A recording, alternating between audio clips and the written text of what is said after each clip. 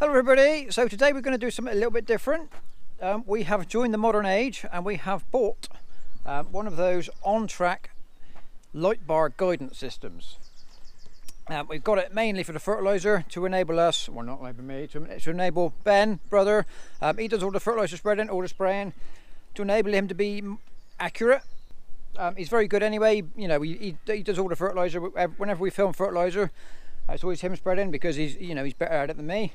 Um, but what one of the things he wants to do with this new device uh, is go up to 18 meter tram lines in the grassland. Previously we've been 12.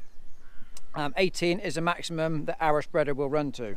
Um, we're going to stick with 12 on the wheat um, for spraying and what have you, but um, you know he wants to go up to 18 for the grassland. So that little device, it's got magnetic feet on it that stick to the bonnet of your tractor. Now some of you may have noticed in the mowing video and me was using it then on the 7614 which is what it will be mostly used on. Um, but we're just going to pick up the last little bit of silage today um, and then get the get fertilizer on it quick before it rains probably this afternoon. Um, so instead of taking the mowers off because we've got more mowing to do he's going to put it on put the spreader onto this tractor for today. The slight issue with this tractor the bonnet is not made of steel. Um, the big tractor has got a steel bonnet. This one is don't know, fiberglass of some sort. So what we've got to do before we can use that magnetic uh, device, there's some little round sticky magnet things that glue onto the bonnet um, and then the unit will stick onto those magnets. So they've got to go on first. Um, so that's what we're going to do. So we've just cleaned off the bonnet to make sure it's not dusty.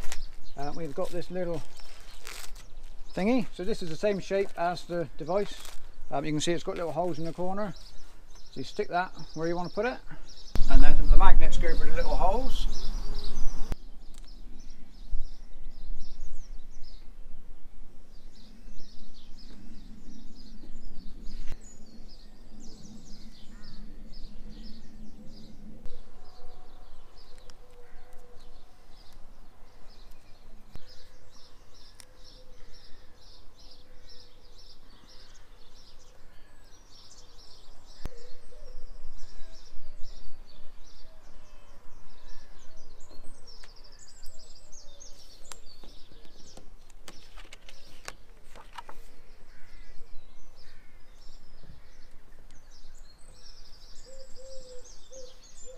Okay, so there was our stickers on. That is now easily visible from the seat. Um, it was didn't weren't exactly sure how it was going to work with a slopey bonnet, um, but you can see it there. So they take, so they say you want to give them an hour to stick, you know, to go off properly before you put any weight on them.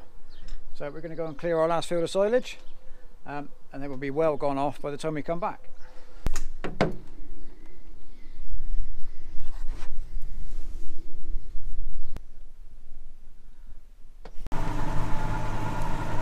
So at the aim of the game when you're watching the uh, the device on the bonnet is to keep that green light uh, uh, like a bright green. Um, if you steer slightly off, the red lights tell you which way you've gone wrong, so you need to steer away from the red light. So if the red light comes on to the left hand side of centre, you need to go slightly right. And the aim is to maintain that green light. As you can see, look, because we've gone turning on the headland, gone way offline it's gone red but as we get closer to where we're aiming for the green light comes on. And just trying to keep that green light on all the time. Okay so what we're doing now we're going around the first time around the field. Um, everything on the device is controlled via the iPad over on the window. I'm not sure if you can see it or not but what we're doing we're following a pre what's the word? A pre or pre a pre-recorded boundary line Okay, so the lights on the bonnet are guiding us to nine meters away from the boundary. And then that, as you can see, it is painting a picture of where we have covered as we're going along. And by having that boundary set, obviously every time you go in the first field you go in, you've got to set your boundary. Um, but now we're into this field for the kind of the second time because this was marked out with a mower. Um, we're going to we were able to follow the green line, the green light on the device on the bonnet, and that gives us our exact nine meters away from the hedge. Okay, so once you start running up and down the straight work of the field, as you can see over on the iPad, um, there's a line to follow.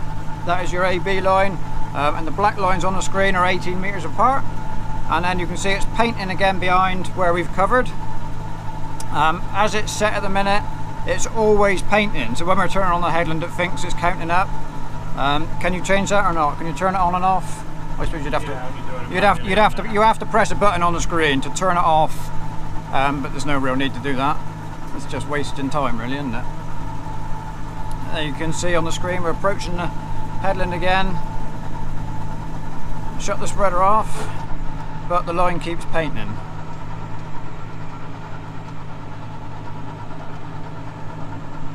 And aim for the line on the screen again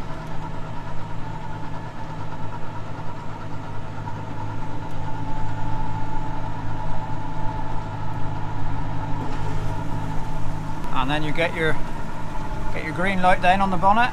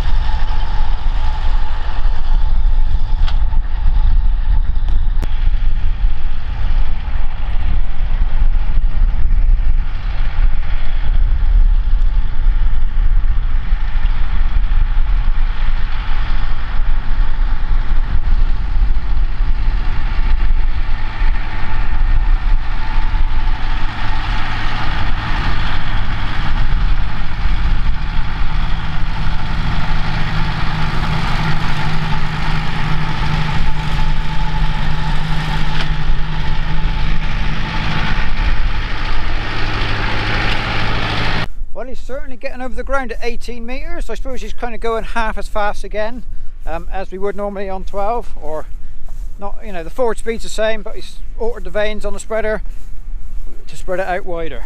So what we're putting on, I don't think I said, just straight nitrogen.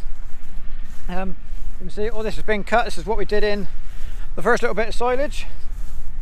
Um, this is without doubt the hardest time of year to spread fertiliser because on this bare stubble you just cannot see where you've been. Even, even when I'm walking across it, you struggle to see where he's driven. Never mind when you're in the tractor 12 metres away, or even more so, 18 metres away. Um, so up till now, he's always used a blob marker on the front. Um, you know, it's been perfectly adequate for a, for 12 metre spreading. Um, whether whether you could, I, I, dare say we're going to get a comment. Somebody's going to say the, you can use a blob marker at 18 metres, um, but you just get a bit more margin for error as you get wider apart. Um, but hopefully this new device um, should keep accurate for, you know, we can go out to that 18 metres, which like I said earlier on, is the maximum the spreader will, you know, our spreader won't go any wider. So there's no need to go, you know, so we can't, that's as wide as we can go. Um, so I ought to just say, you know, we have bought that Ontrak device. We bought it, we paid full whack for it. Um, it's not, it's not a gift. This is, this isn't an advert or nothing. Uh, it's just something we decided we, you know, this year the fertilizer um, well not just this year is it? It's going to be going on going forwards the fertilizer price. That's how it's going to be now for the foreseeable future. Um, so if we can be be more accurate hopefully that device will pay for itself fairly well. Um, it costs less than a ton of fertilizer. Let's just say that. Um, you know they're not massively expensive but it, but you do need that tablet to run it you cannot use it as just a standalone device on the bonnet um, you do need either a phone or a tablet to communicate with it because that's how you set your working widths and your area measurements and all that. Um, so what he's doing, he's drawing, he's just doing the last field. Um, he is drawing that map out on the iPad, so we'll have a look at that in a minute um, when he's finished. And, uh, you know, just kind of wrap the video up. Okay, so here is a close-up of the, what's that called, a coverage map, I guess. Um, you will see there's lots of over covering on the headlands um, purely because it doesn't turn on and off as you're turning on the headland. So you can if you want, but there's really no point messing about with all that. Um, and this here, it tells you area covered, if I can focus on it. 13.2 hectares it says. Um, obviously that's not right because it's counting all the time. Um, and you're turning and, and little bits of overlap, but you can't avoid overlap unless you've got fancy spreaders that turn on and off, which we haven't got. So so there we go, that is a little overview of this newfangled device. So there we go, all finished. So like I said, the, the mapping system said we covered 13.2 hectares. Um, we've just added the actual field sizes up. It, actual area covered um, was 11.1, so it's not far out. And like I said, it's just those turning on headlands constantly. And um, without pressing the screen to stop it, it thinks it's spreading all the time, when reality it's not. Uh, but for what we're doing it for, which is the guidance up and down, um, there's no need to keep messing about pressing buttons. Um, you know, it's just an extra job to do when you're trying to get on and do something important. So there we go. Um, time will tell whether it's accurate. Um, it's like I said, it's new. He's still trying to get used to it. Um, so we'll say thank you very much for watching, and we'll see you next time.